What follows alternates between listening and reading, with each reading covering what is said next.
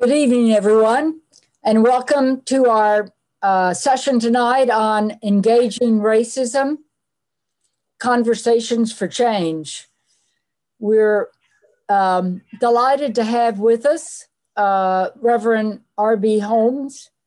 Uh, I must say it's a real honor and a bit daunting to me to introduce him. Uh, he's uh, an extraordinary person. He began preaching as a young, a young boy, uh, following in his father's ministerial footsteps, and he's been a man of God for over 40 years. He's a man of great faith, great service to the community, and an exceptional spiritual leader. So, uh, on behalf of the Askew School of Public Administration and Policy, our Social Innovation and Justice Lab, uh, and also the Tallahassee Chan Center. Uh, I'm uh, Fran Berry, and I'm pleased to be serving as both the introducer tonight, but also uh, the master of ceremony for our speaker.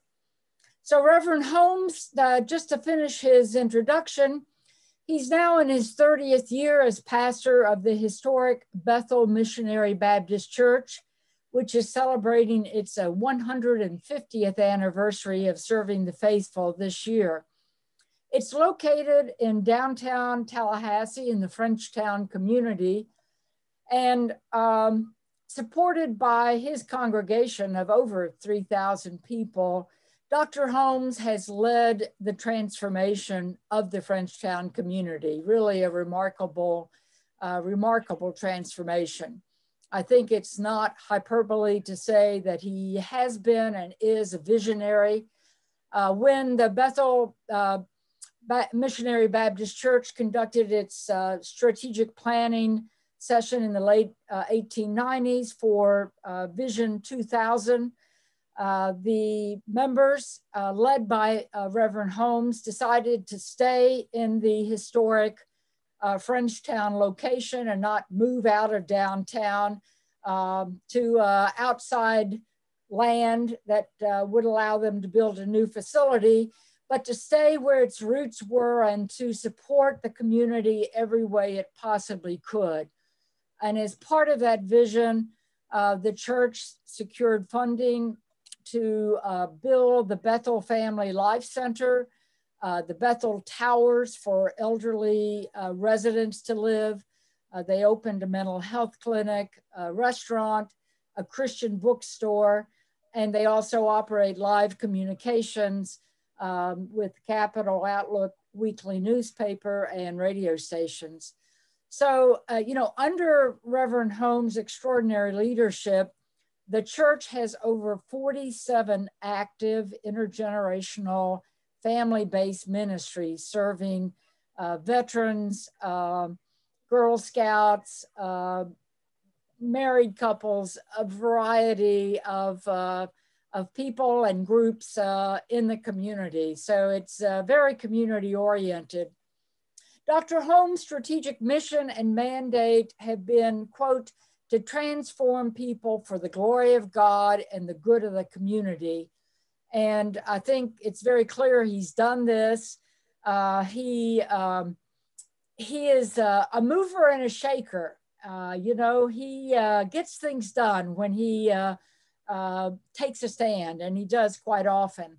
One of my favorite stories about Reverend Holmes is he was listening last year to the radio and heard that Second Harvest was going to have to stop serving food to uh, seniors because they didn't have enough money. Well, he got on the phone and called his uh, members and his friends, and within a few days, they had $40,000 to give to the second harvest so that uh, the elderly could be uh, continued to be served. He's been he's won uh, and been awarded many awards, um, including the 2016 Lifetime Achievement Award from the Leadership Tallahassee and the uh, Tallahassee Chamber of Commerce. There, he has many other awards I could mention, but I know that uh, you all uh, would prefer to hear him talk uh, rather than me to praise his many um, activities. I do want to mention that one of Reverend Holmes' very recent initiatives has been uh, as founder, chair, and organizer of the statewide vaccination community education and engagement task force, um, working with uh, pastors and churches and the business sector statewide in Florida to establish clinics and vaccine sites to increase the number of African American residents who are fully vaccinated. You may have seen his uh, piece in the Tallahassee Democrat a few weeks ago on this initiative. I'm hoping that uh, you'll talk about it, Reverend Holmes.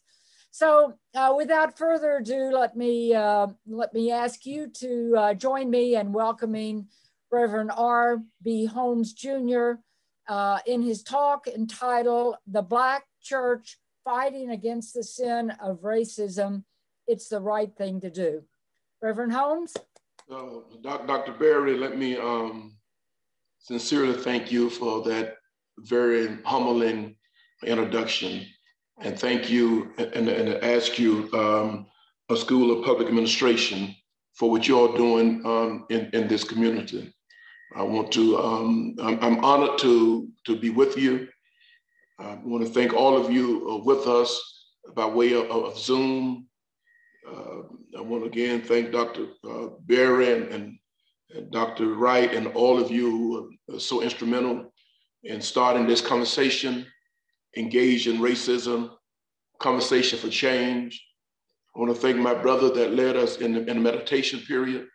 Was, was very healthy and wholesome and, and um, uh, very mind clearing. So I really, I really appreciate you, my brother. As, as, as Fran said, my, my thought for the next 10 minutes, and when you ask a Baptist preacher to do something 10 minutes, just kind of hope that I, you know, you know be, be finished. Um, the Black church fighting against the sin of racism.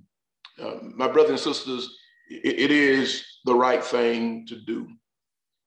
The Black church has been around for over 402 years, fighting and pushing this country to address the disease of racism.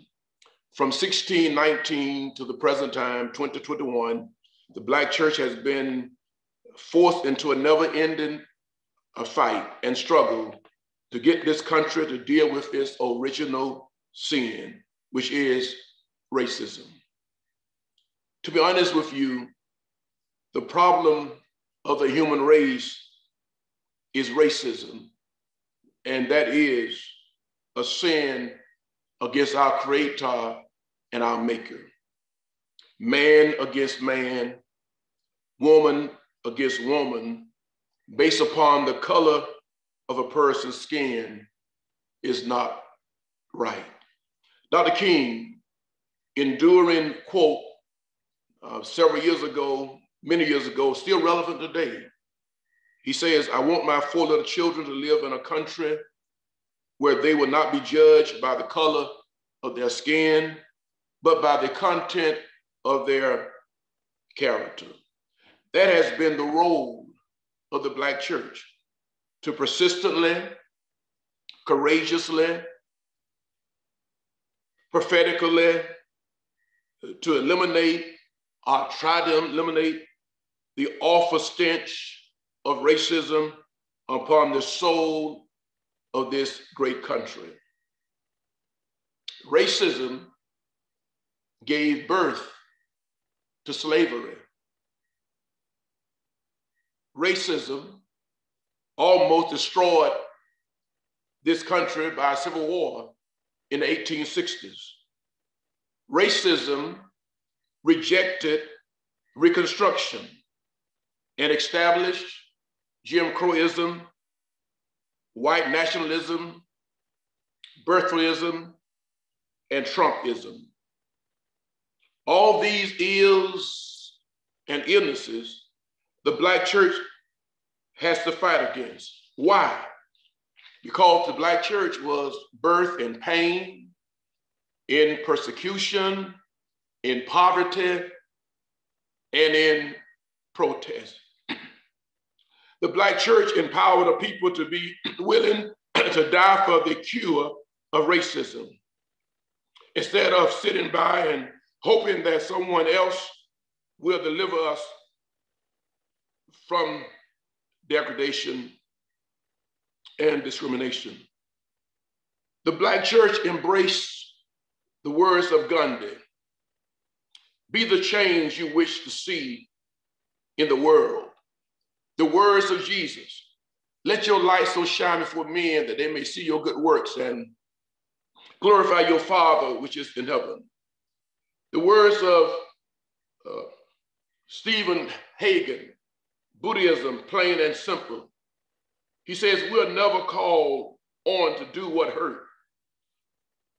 We just do what hurts out of ignorance and habit. Once we see what, what we are doing, we can stop. Want to quote one more time. We're never called on to do what hurts. We just do what hurts out of ignorance and habit. Once we see what we are doing, we can stop. Yes, racism hurts, and it must stop. The Black church, as Dr. Perry Barry mentioned, that I pastored, the Bethel Missionary Baptist Church, was founded during the years of Reconstruction in 1870 by Father James Page. Dr. Larry Rivers has written a prolific and challenging book on Dr. Page's life entitled Father, pa Father James Page and Enslaved Preachers Climb to Freedom. A, an enslaved preachers climb to freedom. Think about that.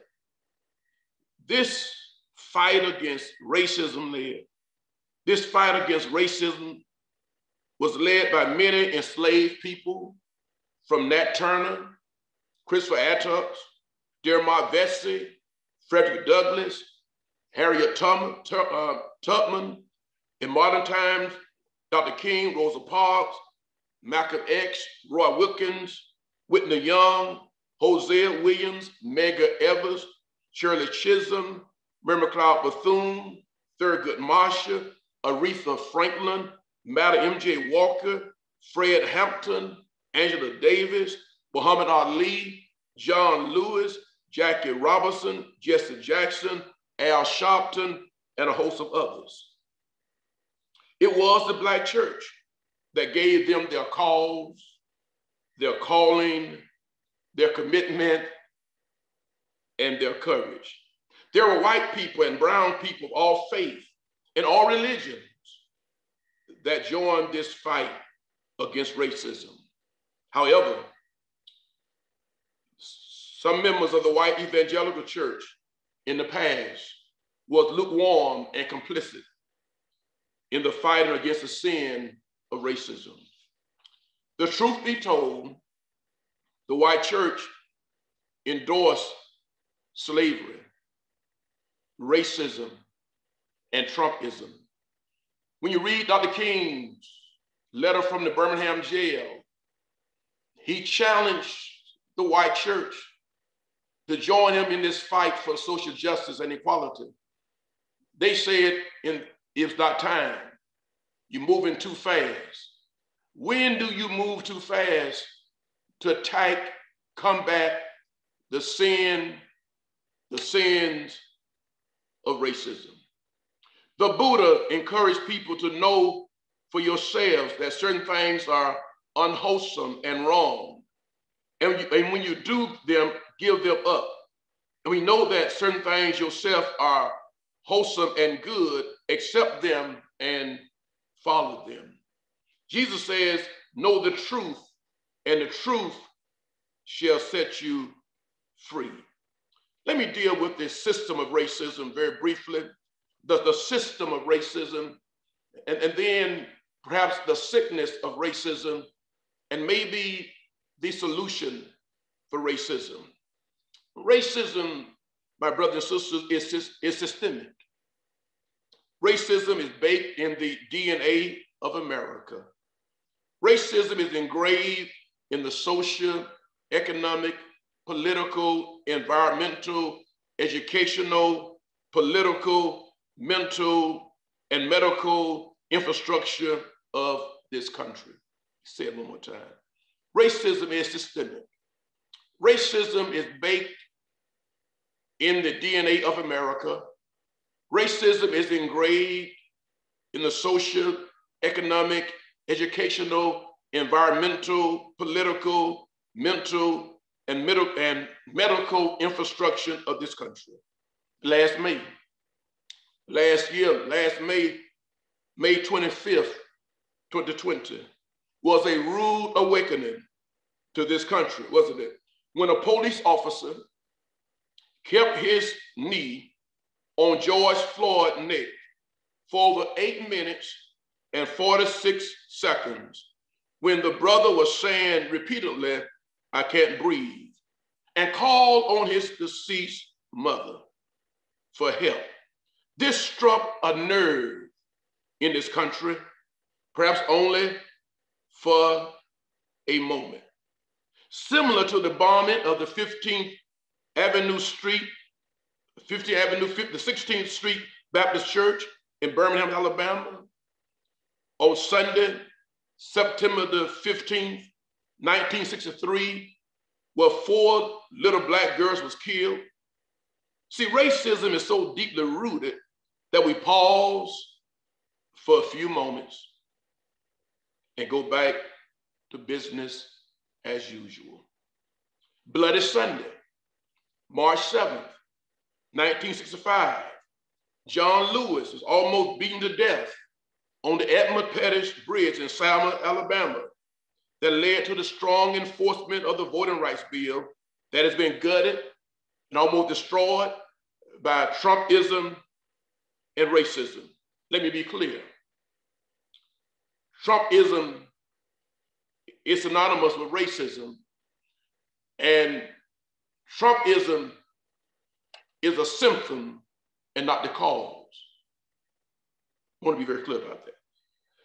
Racism is demonically trapped in the conscience of America that created, my beloved friends, the atmosphere for the assassination of Dr. King, Medgar Evers, Malcolm X, Fred Hampton, the destruction of the Black Panthers movement, the destruction of Black communities, leaving them with poor housing, poor schools, food deserts, digital divide, health deserts, over, over incarceration because the rich go to Florida. I mean, the rich go home and the poor go to prison and an early grave.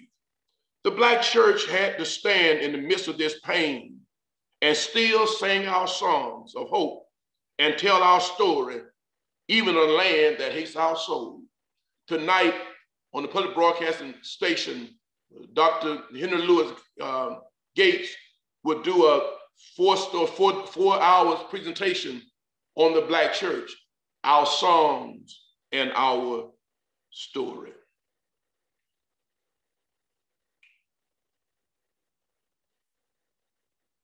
Racism has been thriving for over 42 years as it relates to an enslaved people. In all major religious groups, Christianity, Buddhism, Hinduism, Islam, all of us denounce racism. It's part of our faith. But watch the sickness of racism, the sickness of racism. And very briefly, and I want to try to keep my composure here. What happened on January the 6th, 2021, in the US Capitol is a fresh reminder of how sick racism is and how badly the, the, the, Black church is needed in America. Listen, my brothers and sisters, a mob, a racist mob with the Confederate flag, the Trump flag, and the America flag tried to destroy our fragile democracy. John Lewis said, said, you know, my greatest fear in America is one day I may wake up and our democracy is gone. John Lewis said, my greatest fear of America is to wake up one day and our democracy is gone. January the 6th, a racist mob with the Confederate flag, the Trump flag. My Buddha brothers and sisters, my Christian brothers and sisters, and the American flag tried to destroy this democracy. Mostly white men, incited by Trumpism, wanted to kill the president, the Speaker of the House, and any person they could have gotten their hands on with a noose, bullets, bats, and ropes. This was not 1821. This was 2021. It was domestic terrorism, terrorism. It was treason. It was a strong satanic desire to redo the Civil War, to elect Trumpism as supreme. It was a betrayal of the Constitution. This was the sickness of racism. That a political party for years used birtherism to challenge the legitimacy of the first black man to sit in the White House, President Barack Obama, that White House that was built by black slaves, a birther movement that, ra- that gave racism uh, the charge to attack the Capitol. What a sickness. What a sickness that, that, that, that started years ago.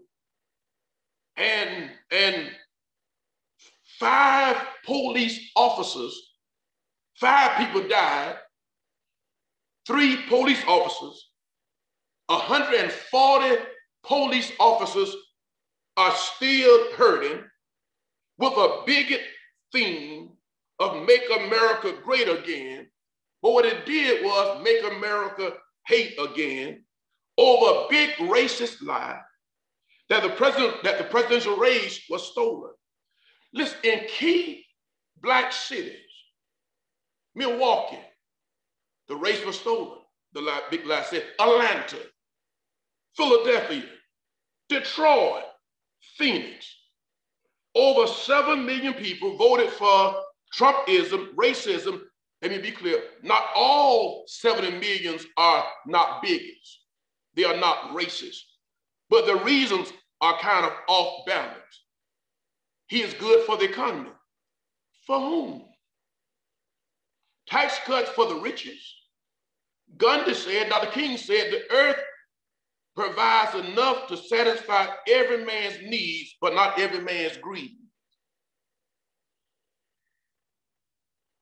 He's good for the forgotten Americans. Where? Rural white Americans are poorer than most black and brown people. No hospitals, no jobs. But the big lie is that those blacks, those immigrants, those Buddhas, those Hindus, they are taking our jobs. The sickness of racism. And I'm finished. Here it is. Do you think if President Obama would have done less than 1% of what Trumpism did, you think he would be in Florida today? He'd have been impeached, convicted, and lynched. January 6th demonstrated the sickness of racism. Here another point, my good brothers and sisters. Do you think the Black Lives Movement would have gotten into the US Capitol with their feet on the desk of the Speaker of the House? They would have been murdered, would have been criticized, would have been lynched. Racism, when you are a white person with wealth and power and privilege, you are above the law, double standard. We won't get convicted. Where is the outrage? Where is the white church? Where is the religious institutions? Where is the black church? Where is the love for the national anthem, the flag, the Constitution, the country, and so called American values? You know, Malcolm X is correct when he said some years ago that Black people love America more than white people. Malcolm X said, Black people love America more than white people. We died in all of the wars. We raised their children. We worked their fields for 250 years without a paycheck. We play sports, but never can become managers or general managers or owners proportionate to our representation. Just 21st century well-paid sharecroppers. There's a book out by William C. Rhoden, wrote several years ago, $50 million slaves, the rise and fall, the redemption of Black athletes. Let me close. The, the solution, the solution. The solution. I'm not sure now, in my seven or plus years of being on planet Earth living in America, that I ever that I will ever see American healed from racism. The solution is repentance, change of hearts, minds, souls, and policies.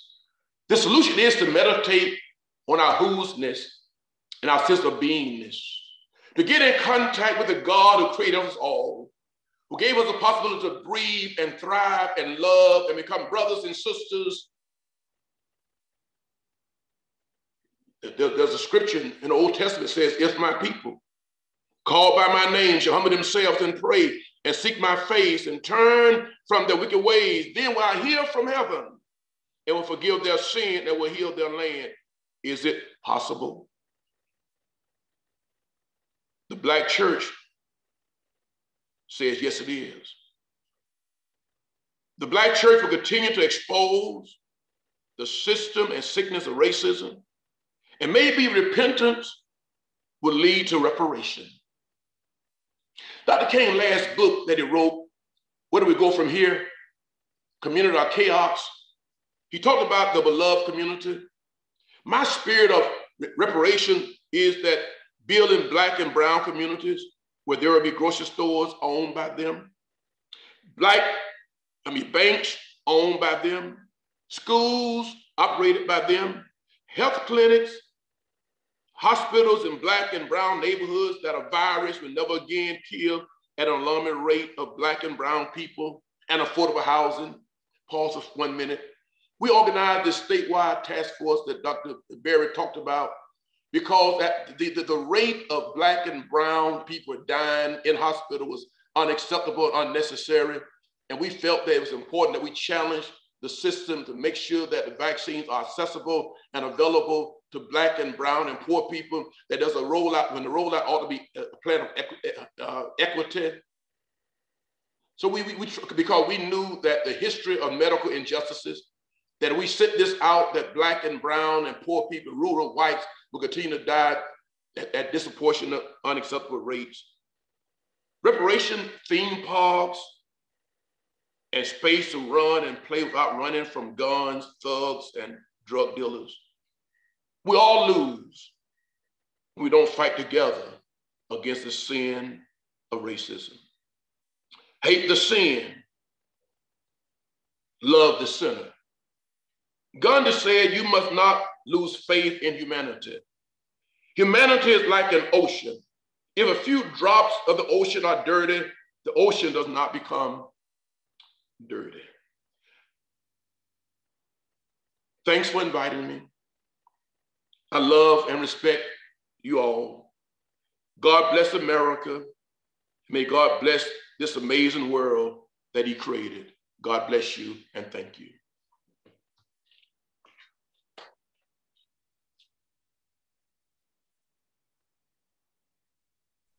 Thank you so much, Reverend Holmes. I wish we could uh, applaud you and uh, you could hear um, the happiness in our, our applause for uh, you're speaking truth to power and telling uh, telling us the way the world is right now and uh, how deeply embedded racism is in our society and our views, uh, both of each other, but particularly in the inequalities that we accept as normal, whether they be housing inequalities, medical care inequalities, you mentioned food deserts, uh, the lack of Black business owners. Uh, this badly needs to be addressed. And um, I wanted to ask you, I know you have been an advisor to, um, to uh, President Biden, and of course, we're with President uh, Obama also. Uh, and let me say, while I'm asking this question, I invite our listeners to um, write your questions in the chat room. And if possible, we'll get you um, uh, uh, to be able to uh, ask your questions. Reverend Holmes has kindly agreed uh, to a Q&A um, session. But I wanted to ask you in talking with President Biden, who I believe has some sincere hope that um, he and with his leadership and with uh, congressional and other um, help from around the country of all the activists, including yourself, what do you think um, is the most important thing for him to start with? Uh, what what advice are you giving him um, about where to start or how to include the churches of the the country? Um, I'd, I'd be interested in how you view this because we're at it seems like we're at a time where there is opportunity. Uh, there's opportunity. Well, we hosted the, the First Lady, uh, Dr. Jill um, Biden, at, at, the church prior to the Thursday, the election. Um, and let me just, just say I'm not dealing with Democrats nor Republicans. I just want to do what is right. Uh, my, my, my, my, prayers for all presidents that uh, and all governors and all elected officials that they do what is what, what is right for, for all people I, I think we, uh, President Biden rolled out of uh, his vision. He said he's running because he want to save the soul of America. Mm-hmm. And it was refreshing, friend, to hear him talk about systemic racism. And as you all know, he, he served eight years with the first Black president, um, Barack Obama. Then President Biden had enough faith and trust uh, the electorate to select the first black woman, Asian, to serve on his ticket. I think that, that, that, that, that's, that's a shining light of hope. Um, and then, then he, he says that one of the first things he wanted to do, among others, is deal with this COVID-19 pandemic. Mm-hmm. He understands that it, this beast has destroyed too many Americans, all Americans. Close to get close to 500,000 by the end of this month, unfortunately. So, but he also very sensitive about the rollout must be done in the spirit of equity, and and that those uh, uh vaccines ought to go where poor people live. Because you said, friend, some most black neighborhoods there, there, are no Publix, there are no no pharmacies. So so we were saying let's let, us let us take those to the people who really where to live because other folk are going to get there. And, and, and, and, let's be clear about coronavirus pandemic. It, it, it, black and brown people dying disproportionately because in many of their communities that we call the, the health deserts, no clinics, no neighborhood health clinics, uh, no grocery stores, uh, poor housing, bad environment, lead poison, bad water. So, so you that so that's a recipe for this for destruction. So what we need to do then, as a people of all religions, is, is to make sure that that we speak very clear about the sickness of racism. And what can we do in our own individual orbit uh, to, to try to embrace and, and, and, and help those those underserved communities coming out of this pandemic. I, I said to my people at the Great Bethel Church, I want to thank them. So listen, and you, you know, I appreciate the introduction you gave, Dr. Berry, that we, you know, as, as, as black people, we don't sit around and complain, and say, oh, oh, how bad we are. You know, uh, we, we said that you, the list, if we're gonna stay downtown as a church, as a very influential church with a great history, we must transform that community. And many of us, most of us don't, don't, don't live in the Frenchtown area proper, but, but we're from Frenchtown in our spirit, in our soul, in our DNA. So we started buying land to, to help uh, revitalize the community. The, the, members gave of their, of their tithes, their treasures, and their talent to do that, to understand that, that we got to be first help ourselves. So in the midst of this crisis, pandemic crisis, so look, look, guys, we need to buy the first medical mobile unit. Yes, we're going to ask the government to do what it ought to do in communities across the state of Florida, but we got to lead by example. That's why we roll up our sleeves as community leaders. We're going to take the vaccine because we understand hesitation of, of, of the Tuskegee experiment, where the system used uh, black men from, from 1932 to 1972 for almost, almost 30, 40 years um, and, and, and took advantage of them. We understand what the, the Henrietta Lacks uh, happened when, when, a black woman went to the hospital with cancer. They, they, they took her cell they've been using for 70 years and never compensated the family. So that's why there's reluctance, you know, about medical injustices. Many, many, many of us know about our own personal experience, with our own parents that, that misdiagnosed, and because you, you're not able to fight the system, no one advocates for you. You die, and no one fights for you because the system is, is, is, is, rigged against you. With that said, we said we're gonna we're gonna buy the first medical mobile. Said I don't I don't want the government to do this. We got to do this for ourselves. And then we'll ask I ask my friends in, in other community to join us, but we need to do it even when when this COVID is over, COVID nineteen. We got to still continue to encourage Black people and poor people to, to get good medical care. So we got to take those medical mobile units out there to them you know, in where they live and, and do it and do the vaccines, do the blood pressure check, talk about good food, talk, talk about diet, and then working together to, to, to say to the Publix of the world, God bless you, but if you can give $300,000 to, to help a, a January the 6th um, um, um, protest on the Capitol. You, you, you, you might not reverse that and give that to help Black folk build some health clinics. All of us own this shop at Publix. But I'm just saying this, so, but those are the kind of things, you know, it's a great compliment. But, but those are the kind of things that, that we got to deal with in the 21st century. So I, I don't want to keep rumbling, uh, going on and on, but yes, it is very systemic and it's going to take some heavy lifting. You're going to take a lot of individual individuality. And that's why I, I said to my Republican friends, always talk about family values and, and flag and, and the Constitution and, and, and, and you know, and, and, but when you, when you, but, but yet you know, you don't believe in what you say because you did not, you did not, you did not call out what should have been called out on January the 6th. Okay. Thank you. And I, I hope that uh, many of our listeners will consider sending a donation. Uh, oh no, no, that's no, no. No, I'm serious uh, for your uh, for your medical efforts uh, on vaccination. I I think it's a wonderful cause.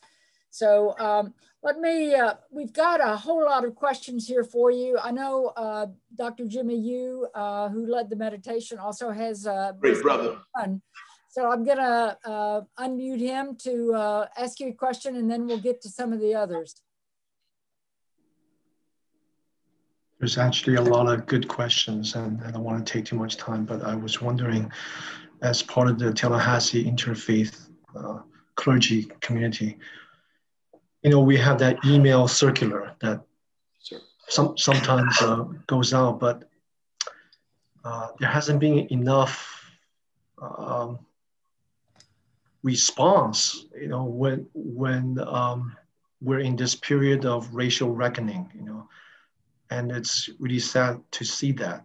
So uh, as certainly as part of the Tallahassee Chan Center, I was wondering if there's any endeavors, I, I heard some about uh, what, what you just introduced, but how can we, uh, as part of the Tallahassee clergy group, support your endeavor?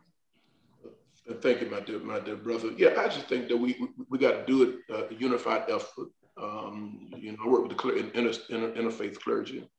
Um, do you remember when when the, with, the, uh, with, with, the, with the, my good rabbi friend uh, when the when the synagogue was destroyed and, and then in, in mid midtown Tallahassee, what happened a year ago, you know, yoga uh, shot it, and people trying to meditate and do their work. We all came together, you know, to, to, to say we stand as one, regardless of our color or religion, we stand as one. But again, you know, those are moments, right?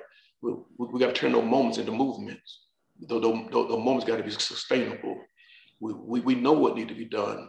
We know Tallahassee is, is, is, leading the country when it comes to economic segregation, when it comes to um, um, um, poor housing. So we could have to come together and, and work with organizations that are trying to build homes. That's our next, next one other initiative called Promised Land Community. You know, taken from uh, President Barack Obama's uh, memoir, The Promised Land. You know, how, how do we bring together, you know, building 50 to 100 homes, first-time homeowners. We did it 15 years ago in Carolina Oaks, right in the heart of Frenchtown. So those, those are tangible things. Those are those those are game changers. Uh, we, we talked about helping uh, returning citizens, you know, uh, men and women in prison who, who are coming out. Shouldn't they come out with a degree? They've been a long time. Shouldn't they come out um, uh, with a trade? You know, uh, should, shouldn't they should they come out also have, have, have been tested for COVID 19 and, and given the vaccine, should, shouldn't they be prioritized? I mean, our, faith says the least of these. So, so my dear brother, yes, um, the grocery store piece. I mean, I mean listen, I mean, uh, we ought to be able to do that.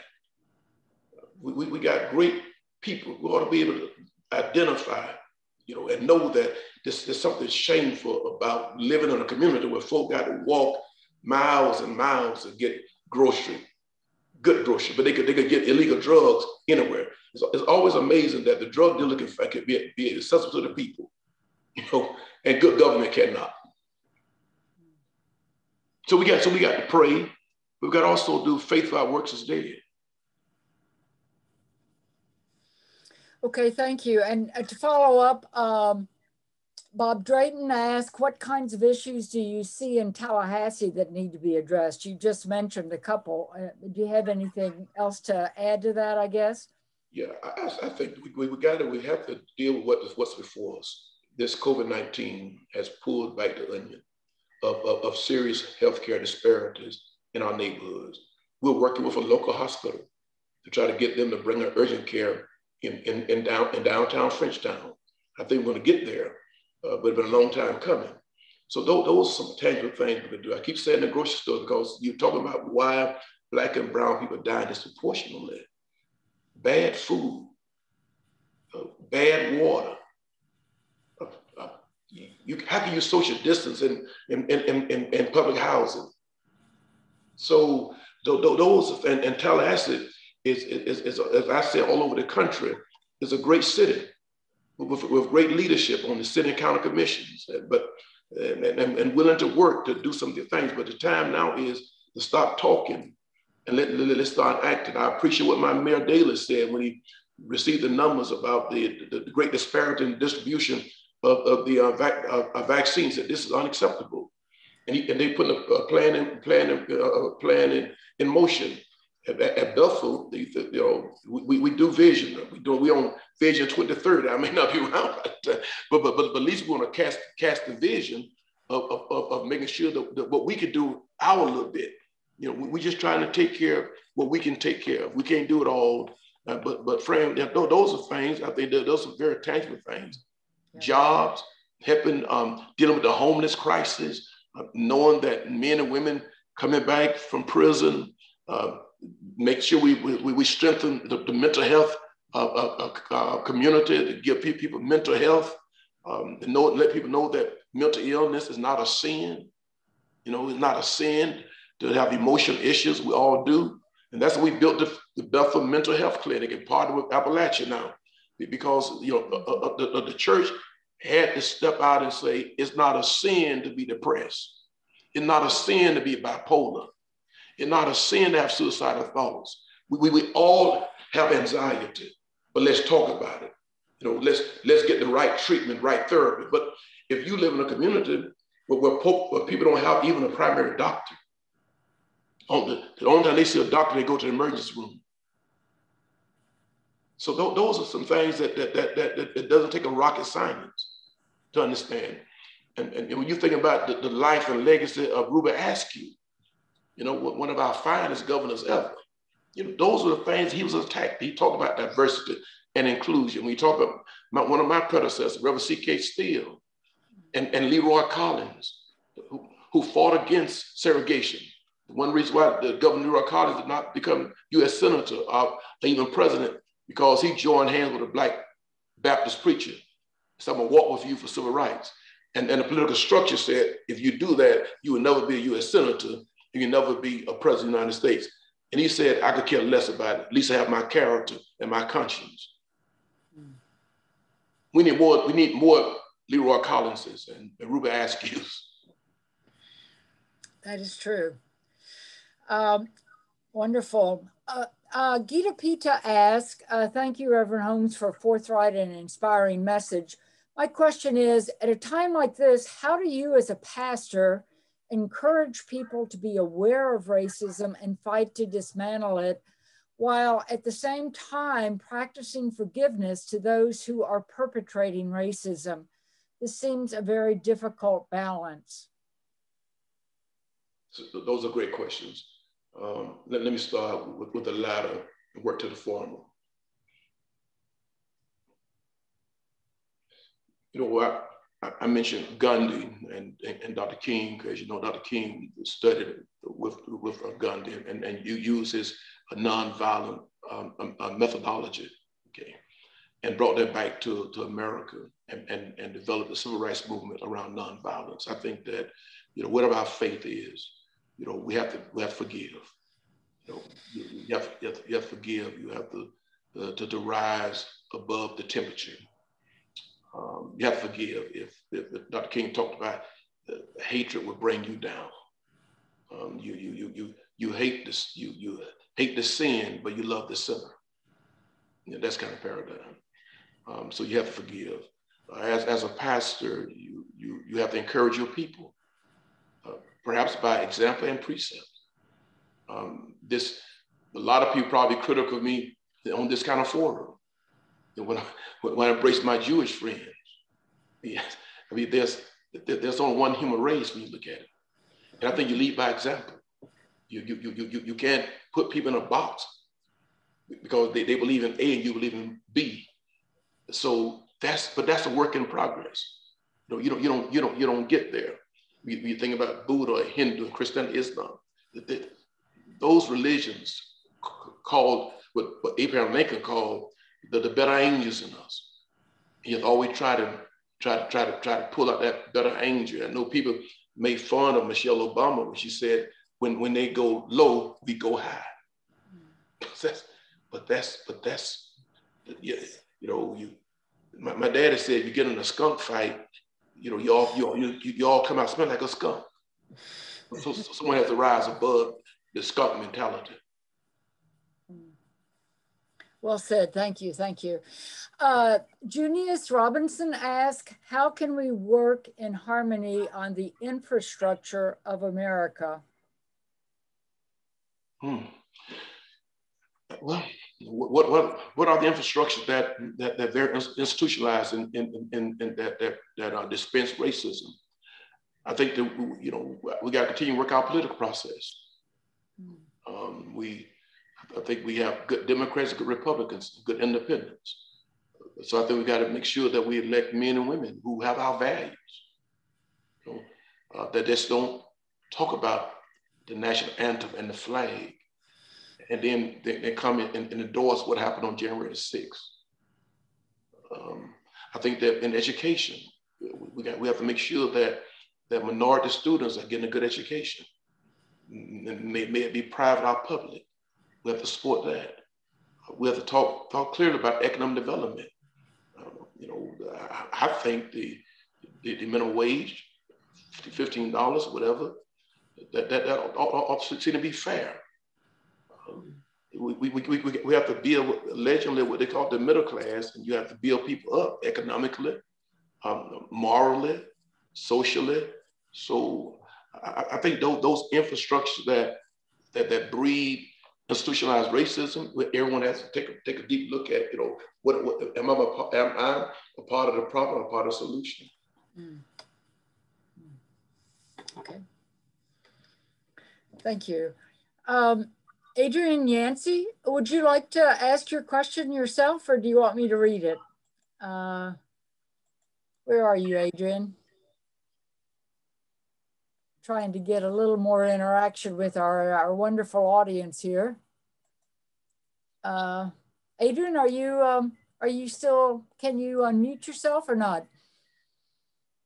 Okay.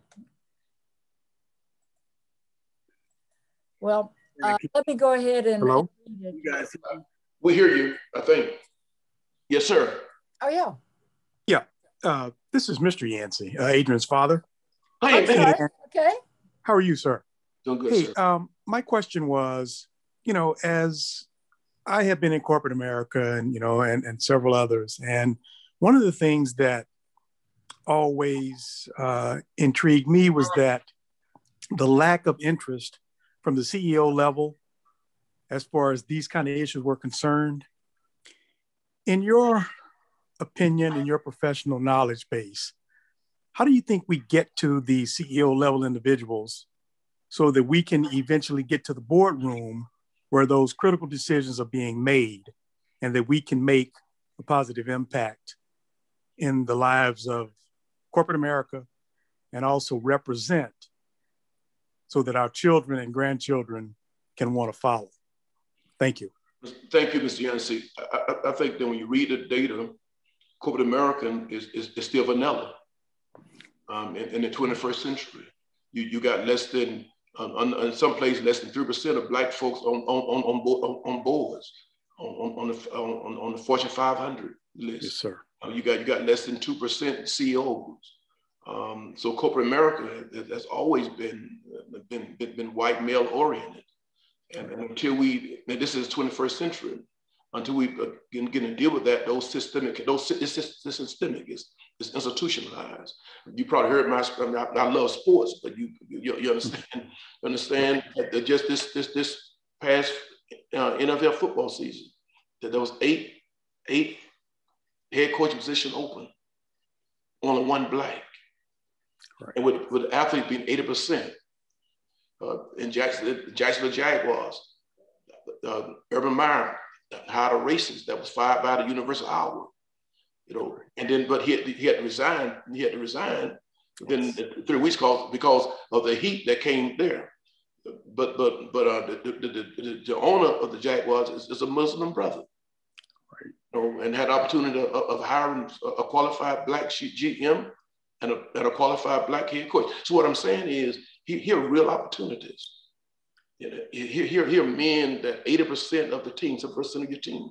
You, you do NCAA football, NCAA basketball, the, the, the same thing. So it, it, it's, it's, it's, it's baked into the DNA and, and, and, and, and, and people trying to call it out. But, but, but, but, but the guys up, up in the ivory tower said, well, if, if I don't know you, you know, if you don't look like me, if you don't talk like me, I can't trust you. But, but that's what we call the sickness of institutionalized racism. Right. Thank so, you, sir. So, so corporate America, all, all, you know, black folk drink a lot of Coca-Colas. I mean, sir. I mean, uh, uh, drink too much beer and wine. you know, yes. buy, buy clothes and, and buy cars. Right. But, but, but you know, so I guess I'm I'm pushing about affirmative action. You know, uh, uh, uh, uh just, just, just act affirmatively. You know, don't, don't, don't think because someone at Yale and Harvard, they got them because of, of, of, of a free ticket. They got them because they're intellectual sharp. They don't have opportunity that, that, they, that someone else had coming up. But, but, but if you have a, a, a plain level field, you know, then they're, they're black, brown, you know, you, you name the, name the ethnic group can rise to the occasion. So, but, but racism Racism hurts. Yes, it does. Thank you, Thank you sir. Thank, Thank you, Brother Yancey. Kaelia Coleman. Uh, would can you un? Uh, hi, Kaelia. Hi you- there. My name is pronounced Kyla. Um, Kyla Coleman. Kyla. First of all, I just want to publicly thank you, Reverend Holmes. Everything that he's been saying on here, I've personally been able to watch. I grew up at Bethel. I'm 32 years old. So I've been able to see Reverend Holmes as a living example. I attended Bethel Christian Academy. Um, every morning, he would make us say, I am somebody. Because of Reverend Holmes and the education that he's provided to me, personally, I don't have an issue when it comes to education. I don't have an issue walking into any room and believing that I belong there because he told me that I am somebody. So um, also we had Black History facts on each door in our classrooms. Every day I saw Thurgood Marshall on my door in my classroom. Because of that, I am a lawyer today.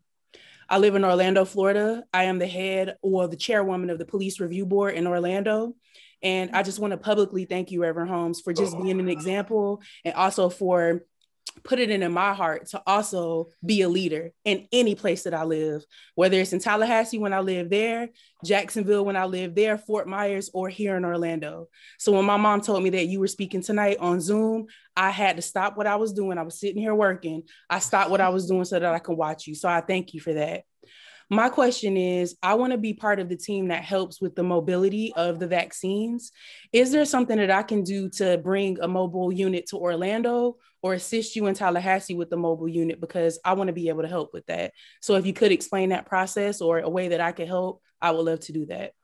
Well, I, you, you, you making me kind of tearful, you know, I'm, I'm got, you know, but let me, Attorney Coleman, let me thank you. Um, for taking time out of your busy schedule to, to, to join us in this very important dialogue. I mean, thank your mother, your, your grandmother, your, your brother for all, all they do. And you really, you are a, a strong representation of, of the key people who've come through Bethel Church in the last 35 years. And, and you all, you all make us proud and so many lawyers and, and doctors and, and, teachers and pharmacists and, and, just good hard workers have come through Bethel. And, and I want to thank you. Uh, the, the, mobile unit, um, whatever, whatever, whatever you want to give, uh, that's up to you. You know, we're going to try to uh, uh, have this, our healthcare ministry, as you know, um, it's a very, very dynamic ministry uh, that's under their domain. And and we, I said to them, they asked when we want the money, we're going to do it have it done by Mother's Day. And, and they, it, it costs uh, $250,000, but you know Bethel, how we roll. You know, we said we're going to do something, we're going, we're going to get it done. We're going to get it done. But, but, but thank you, daughter. And I'm proud of you. Tell, tell, tell, tell don't be bashful. You, you're doing um, um, court, uh, court TV, right? Yes, sir. I'll actually be on court TV on Thursday again. So yes. Congratulations. Thank you, Ms. Coleman. Uh, it's great to hear your story and, and your praise of Reverend Holmes. Can I just shout out my mom really quick? I completely forgot. I'm sorry, mom. I don't know which face you are on here. Thank you for inviting me. great. Okay, uh, terrific. Uh, how lovely. Uh, let's see. Uh, v. Miller, uh, do, would you like to uh, ask a question? Can you? Um, Yes. Hi, can you hear me? Yes, sir. Yes, sir. All right. Right. Well, thank you for uh, an excellent presentation, Reverend. Um, the question I had was about, uh, I'm wondering if you could comment a little bit on the relationship between the Black Church and some of the youth-led organizations um, associated with the movement for Black Lives, such as the Dream Defenders or TCAC. Well, I, I think, I think uh, Brother Miller, we have to um, um, applaud and commend our youth organizations uh, that are about social justice and equality and doing it nonviolently. As you know, uh, Dr. King was a, a young man, uh, and John Lewis when they started the, the civil rights movement. Um, so movements without young people will soon die. So we, we have to em, em, embrace young people. So I, I, I embrace the, the, the dream defenders. I, I embrace the Black Lives Movement. Um, they, they, they, they, I, like what they're doing, what they're standing for. And, and one, one day, you know, I mean, not one day, you are, this is your generation. as, as a person, I think we just got to, you know, my parents taught us that we, we, we, we leave the world better than we found it. And then the young lady who, who gave the poem for President Biden, Amanda uh, Gorman, it said, you know, we all got to do our best to leave it better. That, so young people always been very, very, very involved um, in, in the struggle. And, and, and now many of them are leading the struggle. Um, someone asked earlier tonight, what, what, can they do? Young, young people need to run for office, need, need to be good at what they do. If they're in corporate America, challenge the system. But, but, but, but by all means, do it nonviolently. I saw at the chat room someone said spiritual spirituality have whipped people, whatever, you know, and and yeah, you know, I, I think you you you you you ought not use your faith to, to walk over people. And that's why I said all all religions that I know of, that I studied, always were, were against racism, against slavery, and, and all blacks that came through on the middle passage, but we're not all Christians. Because reading the Christian Bible back then, they tried to teach our ancestors to, to, to love your uh, to, to love your master. But but then we start reading the Exodus story and start understanding what liberation theology looks like and, and, and what, what, what our faith looks like as a Christian, as as as, as Malcolm X looked at the, the, the, the, book, the Quran, and said, look, you know, this this is who we are. You know, so if, if we can, yeah, so and I think young people bring that, right? The young people bring that kind of freshness. They, they, they're not status quo driven. They, they, they, they think out the box. And, and that's what we got, that's what we have to em- embrace and employ. Agreed. Thank you, Reverend. No, thank you, sir. Thank you, sir. Uh, Dr. Marvin Henderson, would you like to ask your question, please? Uh, yes, I uh, certainly would like to thank uh, the Chan Center and FSU for this outstanding conversation. Uh, I am very, very uh, proud of my, my pastor and my fraternity brother, Reverend Dr. R.B. Holmes. An excellent presentation tonight, very thought-provoking, and, and I, I found myself uh, uh, drifting out there and uh, I appreciate our, our, our guru, our mediate, meditation guru for kicking us off. That really got us in the right frame of mind. Uh, the question that I have, uh, uh, Dr. Holmes, is do you think that racism may be the result of a guilt complex that many whites have? And do you think that, that many whites erroneously feel that blacks have some, some feelings of retribution and, and uh, that brings about fear that blacks will someday exact some kind of revenge? Is that, do you think that may have, uh, may be the cause of some, some racism? Well, that's a good, good, good question, uh, uh, Dr. Henderson. Um, but, but, but the guilt um, and retribution uh, has no real validity, right? Um, and, and, and, and, and, and this is what I, I, I like about our religious leaders. And I, that's why, you know, I get, get criticized for this, but, but that's why I think that the nonviolent movement showed white people that, you know, we kept your babies. You know, we, we, didn't, we didn't poison your babies. You know, we didn't poison your food. We, we, we are really a people of love. We, we, we, we, we don't talk about revenge. We talk about forgiveness. And, and, and going back to James Brown, you know, you know, I don't want you to give me anything. Just open the door. And even the Black Panthers, what, what, what the, their thing was really, when people talk about what they did was they were feeding people. When you watch the, the, the new movie out by, by, by, Judas and the Black Messiah, mm. when they talked about Fred, Fred, uh, Fred Hampton, um, you know, and what the, the Black Panther was trying to do was we want to establish our community. We, we want to take, feed our kids. And, and, and we may disagree with Dr. King on, on, on, on, the, on, on the nonviolent piece, but we want, do want to defend our women because everybody was, was aware of the, the, the, the, the, the black slavery and, and what that did to black women and, and how that destroyed the family. If people talk about the black family, well, the slavery, they, they took fathers away and, and, and gave, gave us from our children. So that, that was built into the culture. So I so so what so no what uh, black people are not about revenge. I mean, you know, we we we're not out there trying trying to say get all the guns you can to, to take your country back. You know, we we are we have our issues, but we're loving people. That was Malcolm X said it better. He said, you know, black black folk, you know, the most forgiving people anywhere on the planet Earth. Man. If, if, if we had, if, if we, so so so my white brothers has got to know you don't know you don't need to be guilty, but it, it, it need to be repentance and not just empty repentance. And that's why I mentioned change of policies. You know, don't, don't, don't tell me you love me and you still redlining. Don't, don't, tell, don't tell you you, you, you love me and, and, you, and you're still treating me you know, uh, uh, like a second class citizen because you give me a higher interest rate.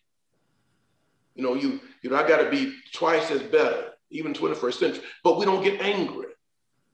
You know, now some people say that's Uncle Thomas. No, no, we, we, we know that we cannot live with hate. Hate will destroy. Dr. King said, eye for an eye and a tooth for a tooth will leave, every, leave everybody eyeless, uh, you know, without eye, without any teeth. Amen. Amen. Amen. Th thank you. Thank you, Dr. Henderson. Thank you, Dr. Holmes. Thank you so much. Um, Suzanne Prenti, uh, your next question. Suzanne, are you with us? I am. And um, thank you, uh, Reverend Holmes. I'm so grateful for your presentation tonight. I'm so glad that you're able to to um, to join us. I'm so happy about that. At any rate, you had mentioned um, in your in your comments something about reparations. I'm wondering if you are in favor of reparations. Not everybody is. I was just wondering if you are in favor of reparations, and if so, what type of reparations would you think is the best? Is best? So that, that's a good question, and I, I thank you for that, And, and I tried to uh, uh, articulate it um, from the idea of, of let's build those communities. Mm-hmm. in, in, Jacksonville, Florida, read an article of the day in the Florida Times Union where 50 years ago we did consolidation in Jacksonville, uh, Florida, mm-hmm.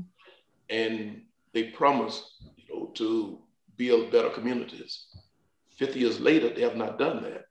So the, the president of the city councils said we're going to appropriate $100 million to take out the septic tanks, you know, in black neighborhoods. Mm-hmm you know, I mean, that they promised 50 years ago. Mm-hmm. So the, that's positive reparation. That, that's doing what you say you're going to do. Mm-hmm. But folk ought not to be smelling, you know. So, so that's important. So, mm-hmm. um, uh, reparation is, is to say, look, you know, people have been treated badly. I'm not saying write folk a check, but that'd be pretty good. But but but, but I'm saying how, how you do it, make sure those schools are better. Mm-hmm. Make, make sure that, that, that minority kids will be able to get in colleges, universities, our trade school. Mm-hmm. Um, make, make, make sure that we, we, we reinvest in, in, those, in those hard, uh, underserved communities. Mm-hmm. And once I repent, I change my policies. I, I don't have any more red line policies. Mm-hmm. Our, our, our, policies where I won't put great stores in, in black neighborhoods because I'm afraid of the crime. Mm-hmm. So that, that's my, my, you know, now there's a lot of debate. There's a bill in Congress for reparation, and, and that bill it, it calls for a study how it ought to look, you know, how, how reparation ought to look. But but but I, but I think that, that there ought to be a, a, a, way to rectify uh, 40 some years of mistreating of people of color and Native Americans. Yeah. You know, and, and, and so I'm not too concerned about the catch. I'm more concerned about what is long term. Mm-hmm. So healthcare. Yeah. Affordable healthcare.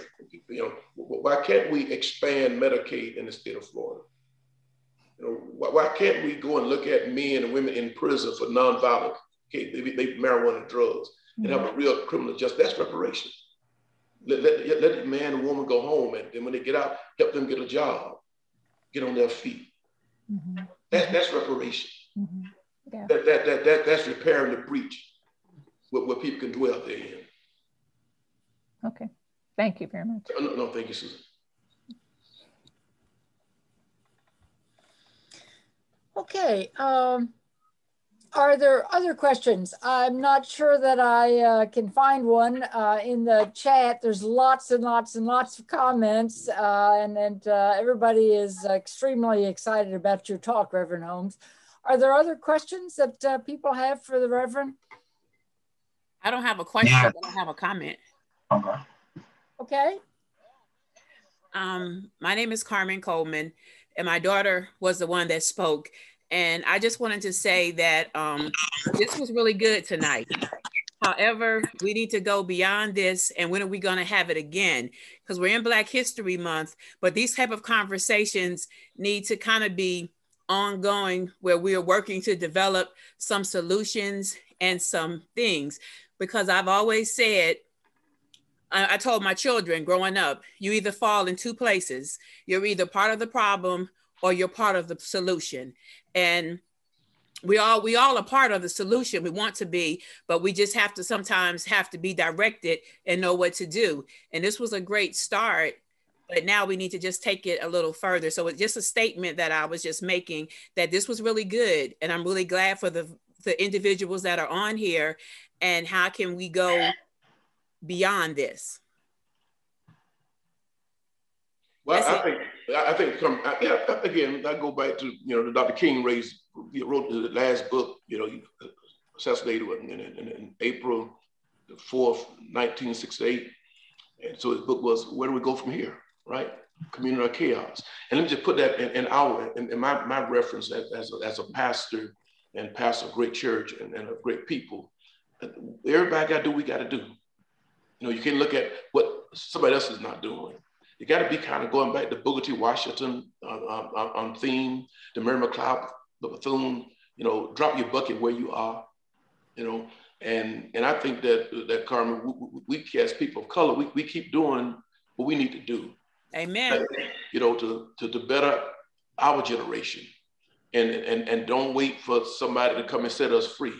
Absolutely. Have have that kind of you know, that's the, you know my, my Jewish brothers and sisters, uh, and, and you know have that kind of independence, and that's what we get into, because you know prior to um, the, the civil rights movement and during the civil rights movement, uh, you, you know, uh, we had we had thriving businesses. Amen. You know, thriving grocery stores, thriving schools. Amen. we segregated, uh, uh, desegregated, uh, our community community went down, other communities went, went up, and, and, left the black community, you know, in, in a jungle. So we got to come back and, and, and reclaim that. And that's what that's what we need pastors, Absolutely. politicians, all religious leaders to help help do that. That's that's how we do that. We, you know, we it, we, we, we keep going at it. You know, that you have, Mr. Yancey talked about corporate America. You, as you know, I'm an advocate about about radio, about media. You know, less than one percent of black folk on radio stations. And, and back in the '60s, the, the, radio, the black press was the way that, that, that motivated us. Back in the day, we had Ebony and Jet. with your daughter talking about, It. you know, we, we took that Ebony magazine and put it on, on every, every, every door at Bethel Academy out of Jet and out of Ebony to say, you know, these, these are your heroes and sheroes. We had, we had no thugs. You know, we they knew that you you looking up you looking at people who made it in, in, in spite of. So I mean, and, and as, as, as my, my, my, white friends and, and and I think that with that, that, that, the white church someone mentioned that we we have to um there, there are people doing things but don't don't let racism or I don't like him or don't like her get in the picture. That, that's what politicians do. They, they say, well, I, I, don't like him, I don't like her because whether they didn't vote for me or they may too, they be outspoken, uh, uh, are they troublemakers? And, and, John Lewis said, get in good trouble. So we ought, to, we get in good trouble. Amen. Exactly. Exactly. Great point. And I think we need to go back to reverence, um, reverencing the teachers in the community because they are a lot of our children's first impressions and we they need to be more respected. I love teachers. Tell, tell your mother hello. I will. Okay, thank you so much. Um, let's see, uh, Victor and Alicia Wiley, that's the name I see. Uh, you have a question, I believe? Um, yes, thank you. Um, great, great message, Pastor. Thank you so much. Obviously, it's my pastor, and I love him so much. Um, one of the he kind of touched on this during his conversation, and one of the things I know my wife and I talk about a lot. Um, we see a difference in political policies as it relates to the white church and black church. Um, we can go back to the three fifth clause. We can to the Constitution. We can go back to separation. Um, on, it was okay to separate races by on, on transportation. It was okay to have separate bathrooms. It, all in the so uh, say so of we want calm, we want peace, but when we know that it's in many cases not right. We saw the difference in response to Washington um, as it relates to January the 6th, as it relates to last summer, and, and how they were prepared or quote unquote say they were prepared. Um, and so I just want you to kind of, if you have a few minutes, kind of talk a little bit more on that, maybe two or three minutes, um, maybe how we can get our, our, our, our brothers and sisters of, of different races um, to get more involved because many people in their churches believe it's okay. We that many of them believe that Trump was the white Messiah in quote unquote, you know, in, in many cases. So um, and it really, really concerns me. Um, one last thing was about hatred um, and how we are trying to get past this is that we see hatred as a snake. It the, the poison, if it gets in, it can liquefy you. And we, we try to keep that out. But that's one of our things that we, we, we are trying to work on. But at the same time, um, we see this as one of our big problems. It's, it's, it's involved into the politics locally and nationally and it's coming from many of our evangelical churches. Anyway, I'll um, mute myself now. Thank well, you. Well, Mr. Wiley, I, I think that um, you said a lot and appreciate it. You're very, very eloquent. Um, I think what happened January 6th is just, just the um, tip of the iceberg. It, it, it, was brewing for years and, and, and, and, years. And, and what Trumpism gave, gave, gave uh, uh, gave a voice to it, uh, gave a microphone to it, uh, a big microphone, and and folk felt at ease now to use the N word, uh, to uh, to to go to the Capitol, and and and follow up on a big lie. And unfortunately, we, we well we we didn't. Some people did not have the political will to, well, not the political will, but but but but the courage to to to say this is unacceptable I'm, I'm glad that, you know, what happened happened. What I mean by that is some, some people found their voice. Um, I just think that was from what from, from we said, that, that was just, uh, I mean, you, you, you, you think about mobs, you think about Rosewood, you think about Green, uh, Green um, Tulsa, Oklahoma. Uh, you think about uh, Harry T. Moore, uh, home the bomb on, on, on Christmas um, in, in, in, in, the, in the 60s.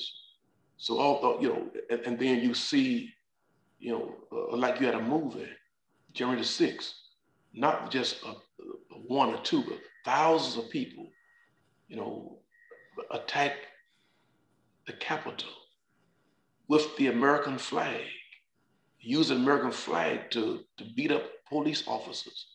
I, I thought they were for law and order. And then you go back and think about slavery and go back and watch all the all those real movies about slavery, the autobiography of Jane Pittman and and, and, and, and, and the Tubman story. And you see it afresh how white men who are governors and mayors and business people put on the, the white sheet and at night bomb churches and destroy families very violent. And then years later, January the 6th, they don't have on sheets. You know, they, they, they dress you know, proud boys, white supremacy. But it happened in Charlottesville, Virginia, right? when they said, Jews gonna take your place, because they already felt they're taking black folk place, because they had Trumpism. There's someone that whistled, the dog whistling. And they heard him loud and clear, like they heard George Wallace and Bull Connor and other races. And they said, okay, but but I think that I pray that that's in the minority. Uh, you know, wherever people come politically, but but let's be very clear. 80 million folk voted for Joe Biden and, Kamala Harris. Uh, he, he, he won about over 7 million popular votes and had the same number of electoral votes that, that Mr. Trump won in 2016. So, so you, you, you, you, you, you see a rise of consciousness politically. Uh, over 80 plus million people. Not it wasn't about Biden or Harris. It, it was about someone that, that we believe will at least do what is right. Because some of our problem has been political leaders. You know, get, get in a position and forget about their agenda. That's why you saw people so negative about voting. That's why I always flipped the script and said, you got to come down to economic development. It has come down to making sure that, that, that Black people go into businesses and we support, as Black people, support one another's businesses, making sure we own some businesses, making sure we become entrepreneurs, that to try to develop that generational wealth that, that, that, that white people have done over the years. That's why it's to try to help folk get in homes, affordable homes, help them to get there. And that's all people saying. I, I, I, I want I, I, want to hand up that whole piece of reparation. I, I know that there's a different size of that, but but I think that uh, that America, old Black America, you know, that that check that Dr. King talked about and the march to Washington. He said, I, have come back to get to, to cash this check, a, a, a, a, promissory note. This check was was was, was it, it, it bounced. Today, that same check, it, said, you know, it's stamped, we can't do it. That's what King was talking about. He was talking about, look, we, we, you, this is a, a, note that Abraham Lincoln promised us based what we've done. And I think we got we got to make that happen. Um, I, I, you know, I, I, tell folks they laugh. I, I, I don't. I, I want the 48 because y'all will keep the mute.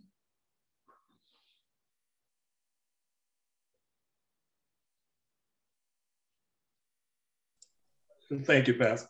Okay, okay. You uh, you are so knowledgeable, Reverend Holmes. It's really uh, it's really wonderful to listen to uh, how you put all these things together. Uh, I think we have time for one last uh, question, if you uh, if you're uh, willing. Uh, let's see. I had a question. Vanessa Orifice. I have a question. From Williams.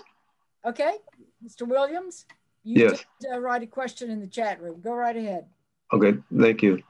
Good afternoon. Um, how you doing, Reverend Holmes and my friend. Good all the Bethel family? Um, it's been a, a, great opportunity to hear um, tonight. Um, my, my point is, uh, my question is, um, how has uh, racism um, had an effect on um, child welfare and the removal of African American kids from their parents and placed in a system where majority of the children are not adopted. They end up aging out and with no place to go, they get caught up in human trafficking and everything else.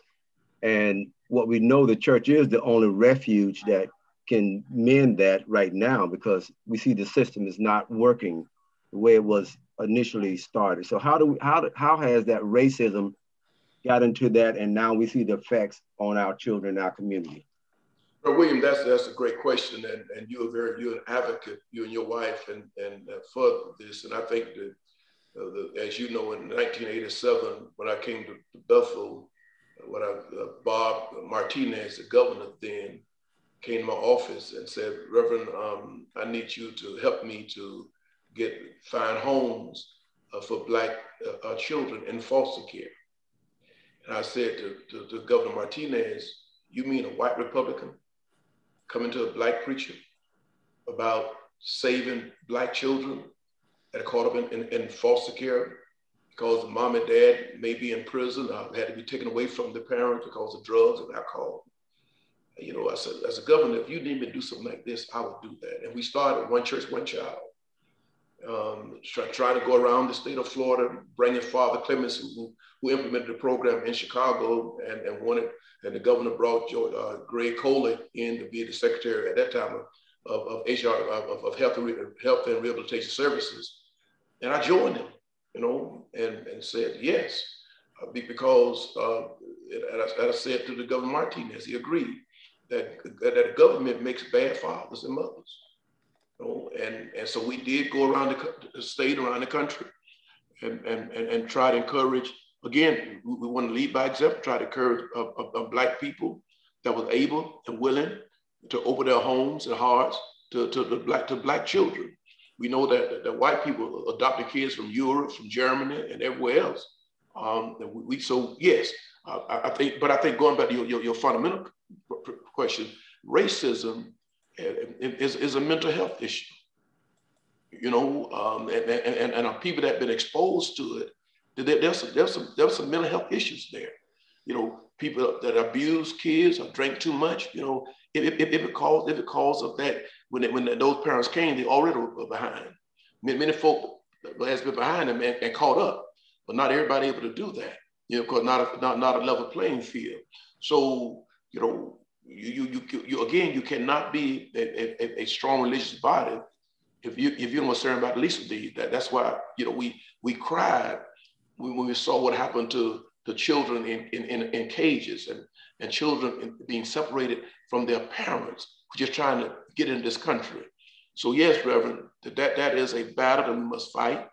We got to try to try to help single parents be better parents. We got to make sure that that, that, that, that kids uh, need to have a chance to, to, to, to, survive in this country. And, and that's why uh, adoption, you know, there, there's, there's a lot of discussion about it. I want to get an abortion and, and adoption. You know what, what, I, what I feel, you know, if, if, if, if, they would have, if Gandhi would have been aborted, if mom aborted, he wouldn't been here.